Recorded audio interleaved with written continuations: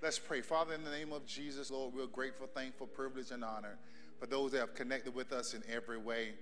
And God, I'm just again grateful. I send extended prayers to Rusty and his family. God, I also extend prayers to the Visitors Chapel family and the death of their pastor, Reverend Jack Fields, Senior. God, I just lift that whole family, Carol, and everybody up in that regard. And God, I also pray for the life that Robert lived as well, that it be an example to him and his family. And God, I just lift your life up, God, because we realize that even though things die, it causes something else to live.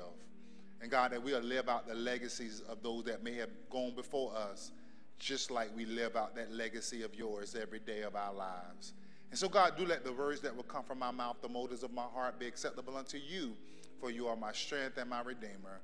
God, thank you for every listening ear, God, that will hear and let them hear what the Spirit of the Lord has to say to them today. And God, I'm hopefully hopeful, hopeful, and I'm hopeful and hopefully that God, something will be said today that will check and challenge, convict us to change us in the name of Jesus. And so, God, we're grateful and thankful for your word today. Why? Because it's your word that makes us new, your word that teaches us about you. So make it clear and make it plain. In Jesus' name, would you shout, Amen? Come on, give God one of those big praises you got right there, right there, right there. Thank you, guys. Amen. Oh, real loud and proud. Let me see them what? Amen. I'm going to draw fire, go higher, then retire. Hey, give me uh, 20 good ones on the clock today. Can you give me that? Amen. Just so I can keep time. Just give me 20. And I'm going to try to get it in. Uh, I do have some other engagements uh, after um, today, so I'm to try to get as much as I can in with you all. Um, and so we can meet those other timelines as well. If you have a um, person next to you that don't have a Bible, say, get one for that man in that nice hat over there. He's ushering the day over there, amen. And the other nice hat. Oh, y'all, y'all be, y'all be sharp around here, boy. Look at y'all. Look at y'all. I have a, I, I'll tell you, I have the best church in the world, y'all. Give it up for our ushers, y'all, that they go to their seats today. Amen. awesome, awesome, awesome. All right. They say it's cold in the kids area. Tell them to shout a little more. Amen. Pastor Jason can control all of that for them.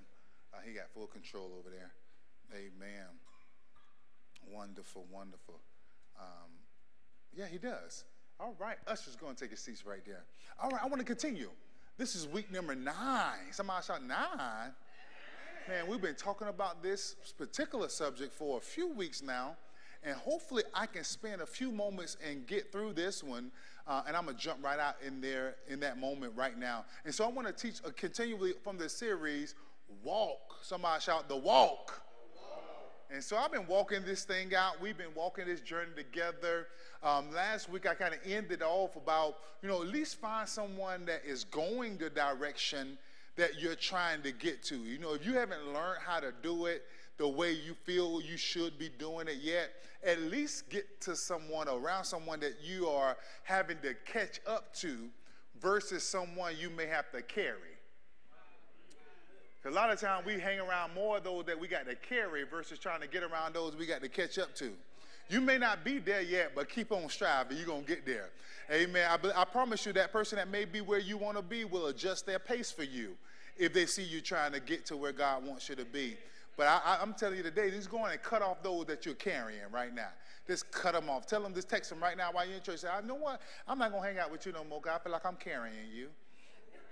Amen. And we ain't walking the same walk. You know, I'm tired of getting around you, and every time you I'm around you, telling me something bad about somebody. I want to hear more gospel than any gossip at all. I need to hear the word of the Lord. I need to hear that in my life. And so I want to talk about this thing. And so I've been teaching for three weeks now um, um, on, from the subject walk in love. Somebody shout, walk in love. And, and let me tell y'all something though. Every word that has been studied have been put to the test. Every time I read this, anybody ever been reading the Bible and you see something that applies to your life and you try to skip over it? You're like, oh, I can't read that right now. I, I'm dealing with that. God said, I need you to deal with that then. Amen. I know how we get. You know, we're like, man, I, I, I, I got a, that's a problem area of mine. And so we be reading about, and God will make it jump right at you, and you act like you didn't see it. You're like, oh, I'm going to, I'm going to flip the page. I'm going to flip the page. Because the enemy want to keep you stuck on stupid. And he know that we perish or we fail for the lack of understanding or knowledge. And so he'll make you hear, God will show it to you, and the enemy will make you feel like you don't need to hear it right now because you may want to stay there. Some of us want to stay mad. Some of us want to stay upset. We like seeing other folks get what they deserve from us. But God has required us as Christians to walk in love. And this changes the perspective because a few weeks ago I told you that the love walk is lonely. Sometimes you may be the only person on your job and in your relationship doing it. You may be the only person applying the love. I told you I don't have a love language. Love is my language. I try to speak it every chance. And I'm learning because, you know, I used to have a bad temper. I'm from the streets, y'all, you know, so I used to have a little hot temper. And so God had to do some work in my life, but I had to put in the work too. To start putting into practice those things that I've learned because when you know better, you what? Amen. So God is trying to get understanding and knowledge because when you understand something, it's simply divine comprehension in your heart that gives you the ability and the capability to repeat something on command. That means when I understand something, I can command something. I can put I can check myself when I understand what I just read, when I understand what I'm supposed to do as a believer. And now in gaining that understanding, our goal during this walk series has been to build us and to cause more spiritual maturity to be in our life. I like talking to the saints. You know, I, I, I hear the sinners, and maybe a sinner or those that want to seek Christ is in this room, but our goal is to show them the way. In other words, there are certain characteristics that we as believers are to exemplify. When the worship comes on, when you know God has been good, nobody gonna have to prompt you. You're gonna lift your hand, and that person that may not know what that look like may just be following suit because they may be the only one that does not have their hand up. And so they're going to what? Copy you. Because holistic praise and worship, or our even mission of our ministry, is always through our actions to cause maybe even those that may not believe to evaluate eventually investigate the faith. Let me see what's going on. How, do they, how do, are they able to still respond that way when what just happened in their life should, should cause a different response? And so, spiritual maturity is my goal. Every day to grow the believer in a more mature way. Because when the more we grow maturely, the less mistakes we make, the less we miss the mark the less we miss the opportunity and not maximize moments. When we become mature, we begin to take advantage of every opportunity and maximize it because maturity, spiritual maturity, is an ongoing process that requires us to surrender and remain obedient to God. That's how we're going to grow maturely in our walk with God. Now, I'm going to give a few references as it relates to recapping. And I talked about from uh, Ephesians chapter 5. I'm going to bring it up. You can write it down for your reference. I'm not going to read the whole text today, but I want to recap so you can get into your mind where I'm at. And so in that scripture, it was talking about that we should be imitators of God.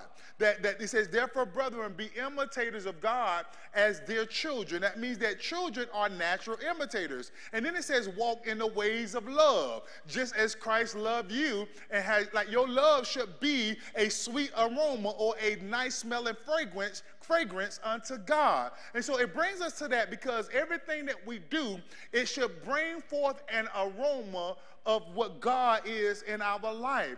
And so I want to reiterate that because this walk, love walk, is so important in showing the world what God looks like. During these last three days of fasting this week, when we was in fasting, uh, we were talking about authority. I learned so much about just me as a person and the capabilities I have of commanding the earth to respond to my voice. Anybody been putting that thing into practice over your life? Start commanding stuff because you say, God, I got delegated authority, distributed power to command those things. And so anybody start speaking to yourself? Amen. Commanding yourself to turn, act right. Amen. I mean, sometimes you may you may make a mistake at that moment, but you ain't got to stay there. You may get off track, but you ain't got to keep on walking in the dirt. Get back on the road quickly. Anybody find yourself getting back on the road real quick? Amen. I don't know about you, but I been, I mean, I get off track. I, I, amen. For a moment, I be like, hold on, God, I just learned something. And I get, I, I said, no, I ain't gonna stay here. I ain't waiting for nobody else to get right. I'm on my path. Because this word will convict you, y'all. I'm, if it really working in your life, if, if it ain't done nothing for nobody else, man, I pray for you. You, you, hey, Jesus Christ. And so last week I left y'all with the subject or just the point to let love. Love will lead you. Somebody shout, "Love will lead me." Love will be your motivator. It, love will be your direct. It'll be your compass for compassion. It will be your leading guide to everything God has for you to do. And I gave you this scripture in John 13. And I want to bring emphasis back on there. Man, my time, I, that, that's a lot. Y'all must have got the clock on fast.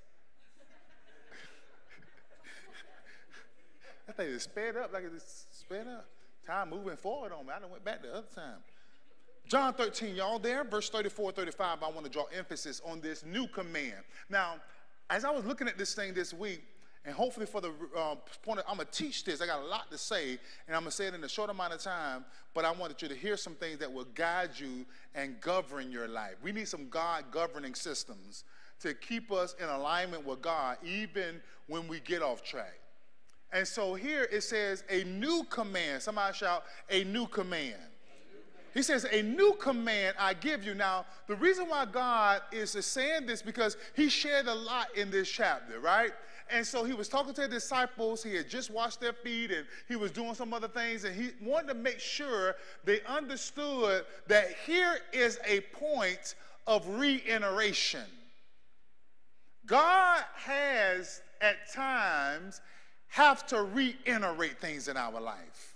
He has to reestablish some things because sometimes when we get around God or get around others or not been around God, we can sometimes get a little, little complacent and forget about all that God. You ever met that person that got saved when they um, when God saved them from a life of sin and they done been saved a long time and then now they think they too good for everybody else?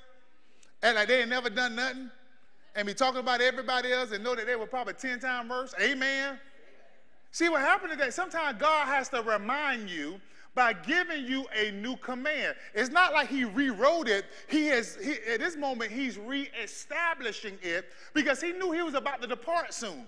He says, I need for you to establish in your life the love. I knew you knew love or what it was before you met me, but now you're in my presence. He was establishing something here. He said, Now you've gotten to walk with me.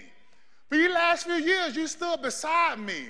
And now I got to give you a new commandment. I don't need you to love like you once loved.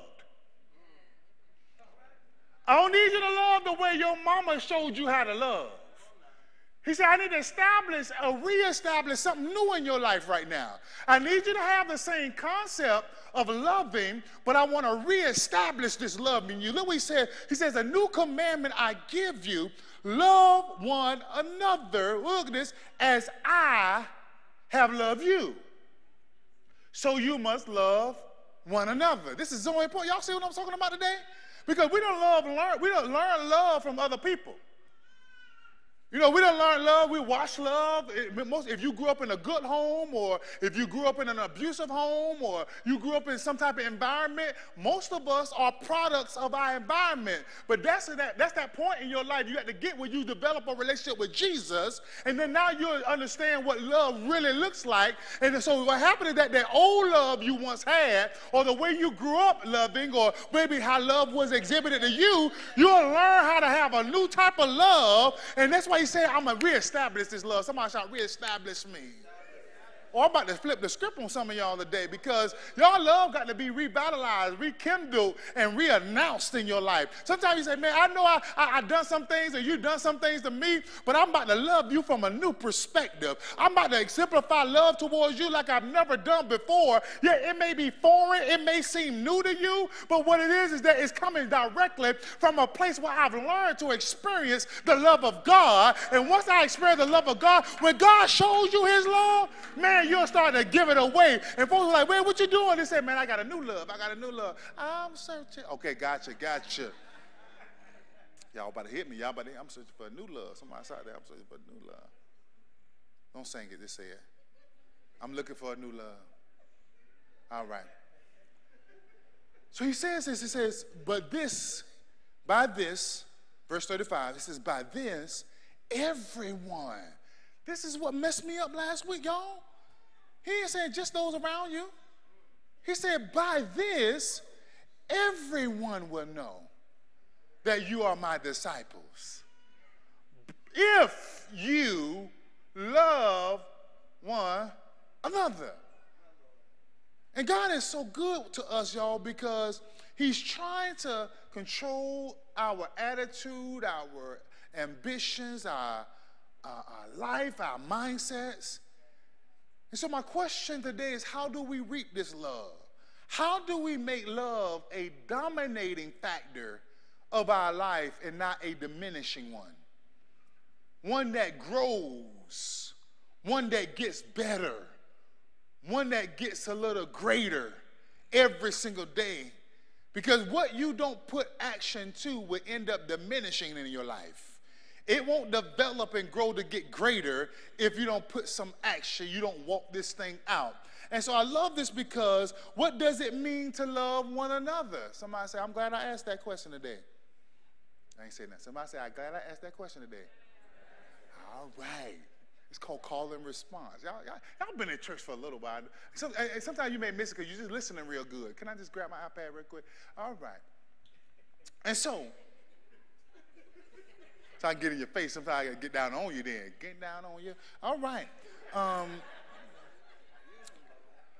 it says, what does it mean to love one another? What does it mean? Like, what does that mean? Like, what does it mean to love one another as Christ has loved you? The one another in these verses, now, I'm about to become a little biased. And this is a very intimate spiritual maturing moment. So I need y'all to hear this the way I'm shouting it today. It's important because Jesus gets a little particular here. He gets a little more intimate because he's he giving instructions to his house. And so he's telling his disciples, says, love one another as I have loved you. He didn't say, I need y'all to love everybody like you saw me love others.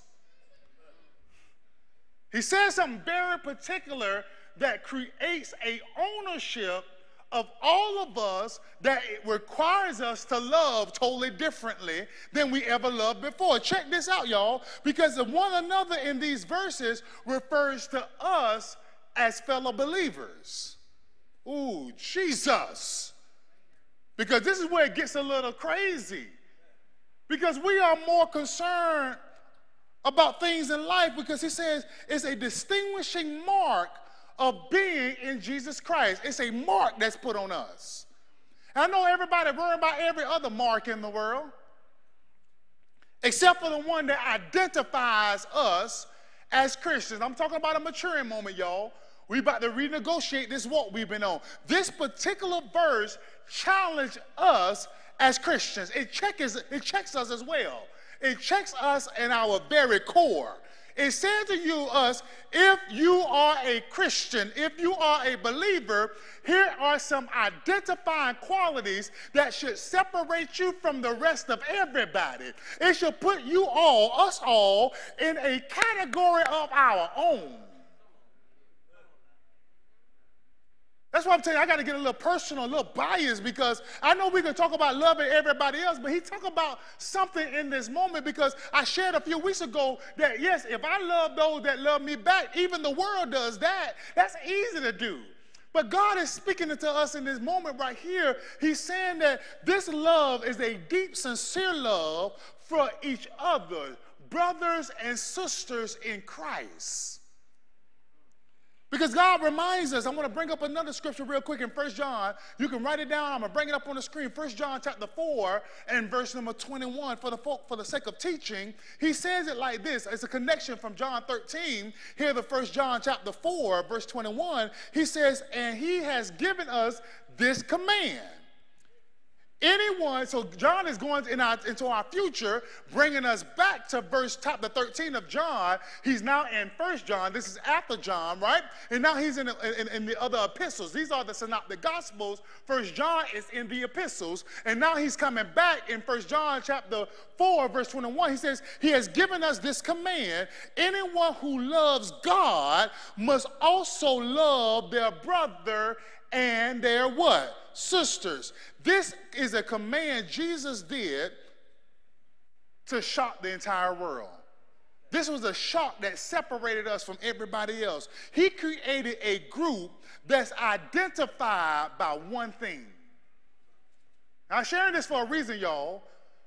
He did this in the Bible. He shared this. I need y'all to walk this thing out with me today. He did this to identify a crowd, a group that's only identified by one thing. Somebody shout one thing.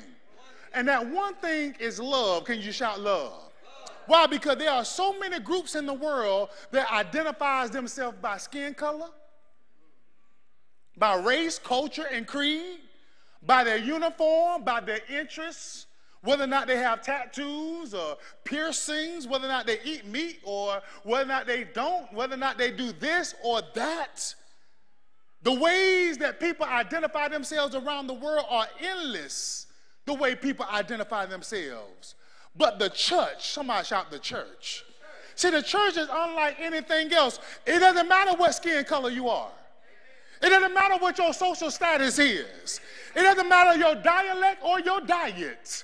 What matters the most that identify us, cross barriers, creed, or culture, is our love for one another.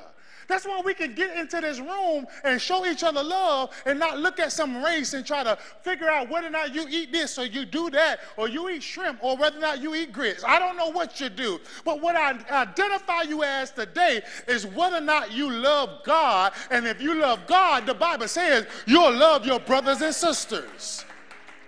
And the reason why God is sharing this, I got to tell you this because the followers of Jesus are identified by their love for one another because when we treat Sometimes we can treat a stranger better than we treat our own. Amen to that, somebody. You know, first time guest walking our church, we be like, hey, how you doing? And a church disciple walk like, what's up? And they don't even exist. I like to have first time guests, but I'm going to treat my family good too. Amen. We wait on somebody new in your life. Sometimes you, oh, I, I, I wait on a new person. I say, man, the new person, I love you, I receive you, but I hope that my family know I love you because you could be here today and going tomorrow. Amen, Amen to that, somebody. You can't even come in, oh, that's the first time, and let me see, we'll treat straight. And y'all know folks like that. They'll treat somebody that they ain't never met before better than those in their own house. But it then speaks volume of who they really are. Your family say, man, that joker, look at him. And now everybody don't know that you love.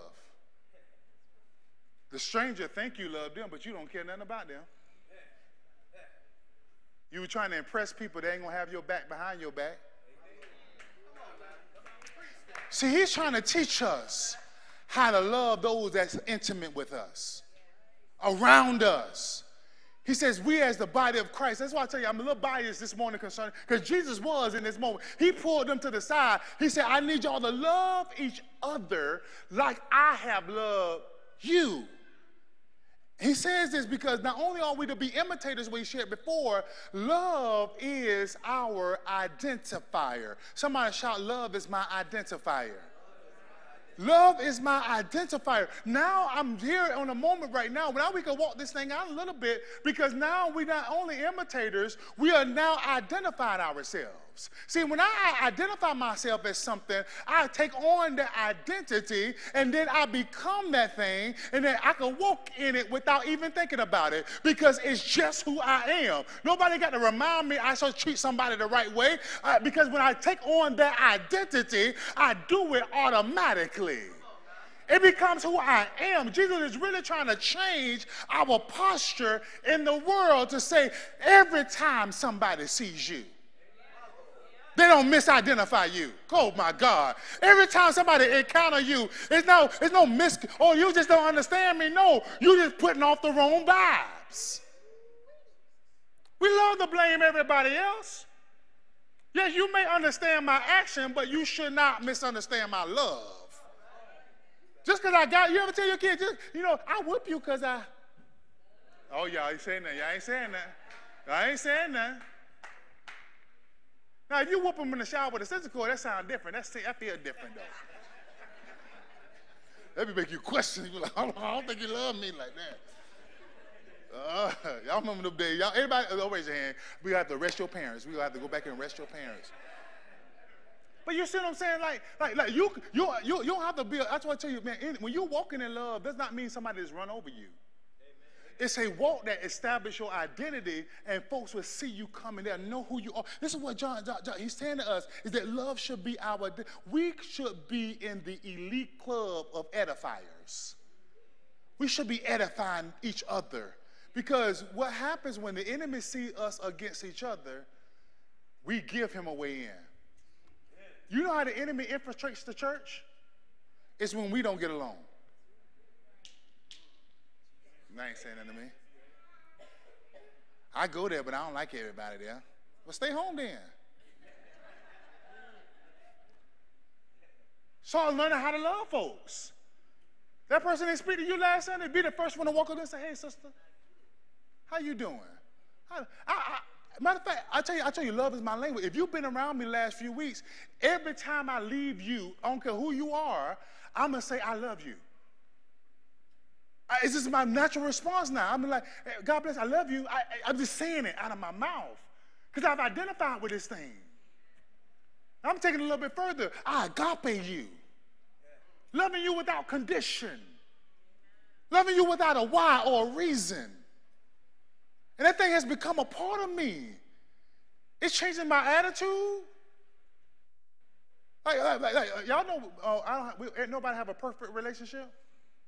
If you married, don't you get upset with each other sometimes? Somebody say all the time. Okay, okay.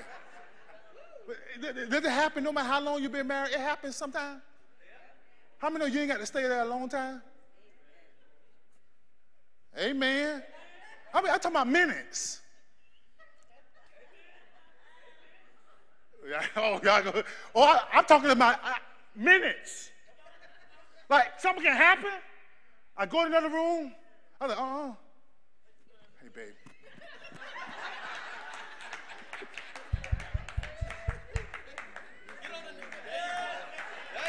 oh, I'm, I'm, I'm serious. Whole nother love level. Like, hold on, uh-uh. I don't care if she's, she, I don't care if she said something I didn't like. I don't care if I didn't like it, what she, the way she said it. I don't care if it hurt my feelings.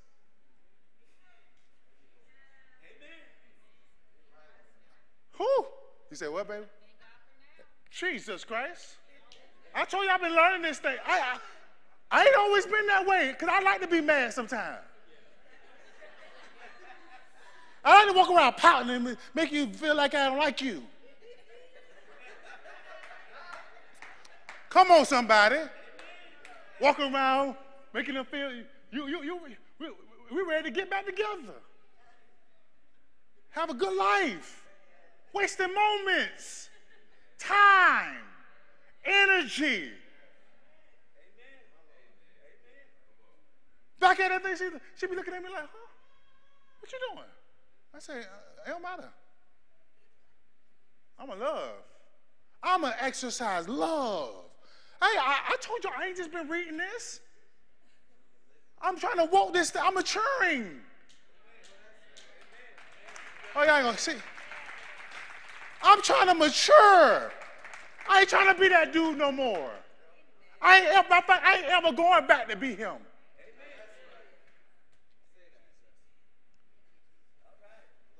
Y'all ain't hearing nothing I'm saying today. Like seriously, like, you know, man, for a day, you know, it's still cordial. See, God don't want you to be cordial. That's a word of the enemy. He wants you to be confirming in your love. He said, Love me because what happened? See, if God loved you that way, and He decided when you got when he you made Him upset today, He decided to do this all night. You probably still be in your bed right now. Matter of fact, your bed would probably be your tomb.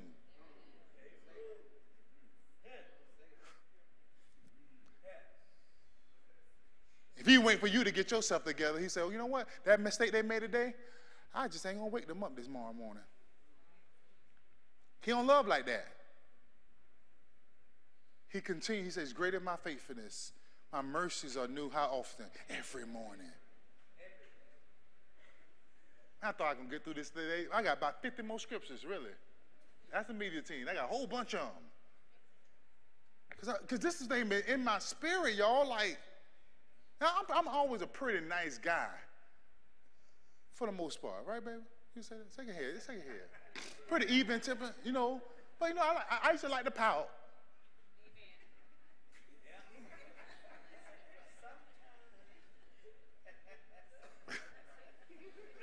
I, I, got, I, I got upset yesterday uh, with my baby girl. I was mad. But when I got home, I said, oh, I ain't stand that way. I saw like nothing ever happened. What right in there? Give me a kiss. She looking at me like, what's going on? I said, you know what? I, I, I've learned to love.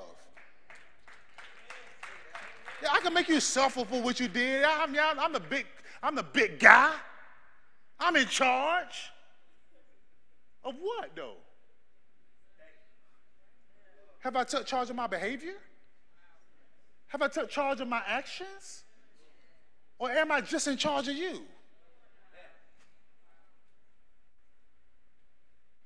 See, love will change your mind, y'all. Eh, am I talking to anybody this morning? Eh, am I eh, anybody? Because he says this in the statement so he can identify us separately from the world. Y'all see how that separates us? Y'all see how that puts us in the category of our own as believers? You had to own this position in your life.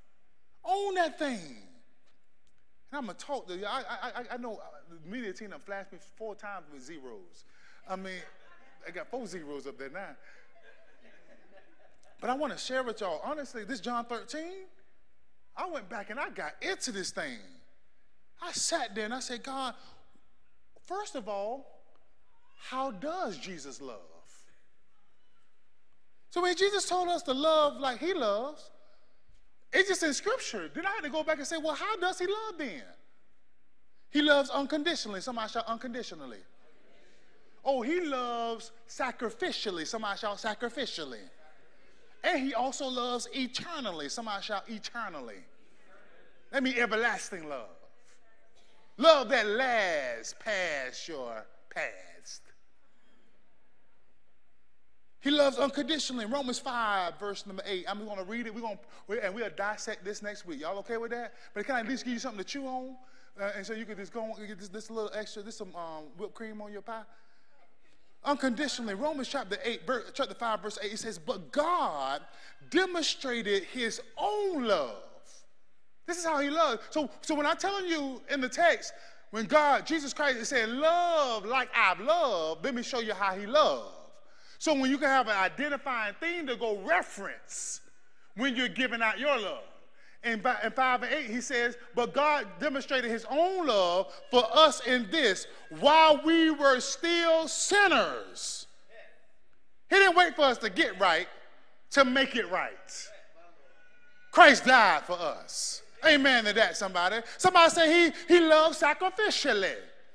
In Second Corinthians chapter 5 and verse number 21, he says it like this God made him who had no sin to be sin for us so that in him we might become the righteousness of God. He took on something that was taking us straight to hell. And became it for us. He sacrificed. Love is self sacrifice. Some of y'all waiting to feel your goosebumps before you love properly. Or if I can feel something come up on my arm or I get butterfly. But God said, I'm a sacrificial lover. I'm going to give you love before you get right. So that you'll see what righteousness look like. Somebody shout, He loves eternally in Romans chapter 8, verses 38 and 39. Let me read this. It says, For I am convinced that neither death nor life, neither angels nor demons, neither the present nor the future, nor any powers, nor height, nor depth, nor anything else in all creation will be able to separate us from what? The love of God, which is who and who? Christ Jesus our Lord. I don't care what you do. You can't separate yourself from the love of why somebody can do something to you and you stop loving them.